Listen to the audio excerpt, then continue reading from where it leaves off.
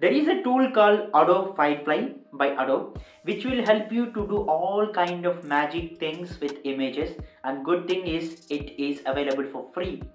I tried Adobe Firefly recently and my experience with Adobe Firefly is amazing. I will quickly show you how I have used Adobe Firefly and the features of it and how you can use it to do all sorts of magic with images. Adobe Firefly was launched a few months back. Uh, it was told that it is being integrated with Photoshop so that you can do all kind of AI magic with Photoshop. But now you can try it easily in your web browser and it is very easy to use it has many different features such as generative image fill text to image and creating name fonts etc the first feature that i liked about is the generative image fill. Take any image upload any image and select the portion of the part that you want to replace with anything. Let's suppose i have selected this image and i wanted to replace the background with complete new thing.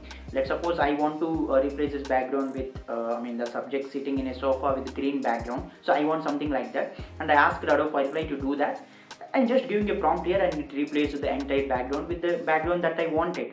Is something you can also do many other things like you can select a portion of an image, replace that with any part that you wish or any object that you wish, it will do that. And second feature that I liked about Adobe Firefly was text to image. Of course, it's getting popular these days. Midjourney is the app which is a master of it. But you can also do that in Adobe Firefly for free. Let's suppose I want a dog, uh, I mean standing on a mountain with snow background. Ask Adobe Firefly to do the exactly same thing it generated this in seconds previously it was only midjourney which is popular but midjourney was a paid tool so not everyone can afford it but Adobe Firefly is a free to use tool you can try your luck on it and test with different kind of images other feature that i liked the name font thing like I can write my name and ask Adobe Firefly to come up with a different font style. Let's suppose I want my name um, appear in a class font style. I asked it and it generated in seconds. I can also choose the suggestions based on it and I can create my own name font. This is one feature that I liked about Adobe Firefly.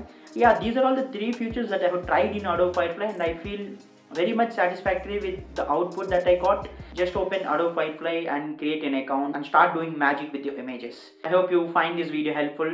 If you like this and if you want more kind of AI related stuff, if you want more content on AI and latest technologies, don't forget to subscribe to the channel. Thank you for watching.